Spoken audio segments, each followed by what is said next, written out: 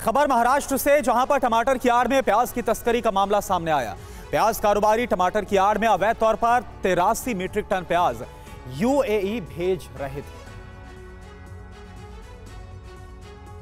केंद्र सरकार ने प्याज के निर्यात पर प्रतिबंध लगा दिया है ताकि आम लोगों को सस्ते दामों पर प्याज मिल सके। लेकिन निर्यात पर प्रतिबंध के बाद भी कई कारोबारी विदेशों में प्याज की तस्करी कर रहे हैं। नासिक में प्याज तस्करी का मामला सामने आने के बाद तिरासी मीट्रिक टन प्याज जब्त किए गए हैं। बताया जा रहा है की नासिक के दो प्याज कारोबारी टमाटर की आड़ में अवैध रूप ऐसी प्याज की तस्करी कर रहे थे, तभी पकड़े गए। विशिष्ट खुफिया जानकारी के आधार आरोप नागपुर सीमा शुल्क आयुक्तालय ने पंद्रह फरवरी को बयासी मीट्रिक टन प्याज के अवैध निर्यात के एक मामले का पर्दाफाश किया है। तस्वीरों में देख सकते हैं कि कैसे कंटेनरों में टमाटर की आड़ में प्याज की तस्करी हो रही थी। कैसे तस्कर टमाटर के बीच में प्याज रखकर दूसरे देश भेज रहे थे, जहाँ ऊँची कीमत पर प्याज के दाम मिलते हैं। केंद्र सरकार ने 7 दिसंबर को प्याज के निर्यात पर प्रतिबंध लगाने के बाद प्याज की औसत घरेलू बाज़ार कीमत बारह सौ रूपए ऐसी गिर कर नौ सौ रूपए प्रति क्विंटल हो गई लेकिन विदेशों में प्याज का बाज़ार भाव सौ ऐसी डेढ़ सौ रूपए प्रति किलो, यानी दस हज़ार ऐसी पंद्रह हज़ार रूपए प्रति क्विंटल मिल रहा है। इसलिए कारोबारी चोरी छुपे विदेशों में प्याज भेजते आए हैं।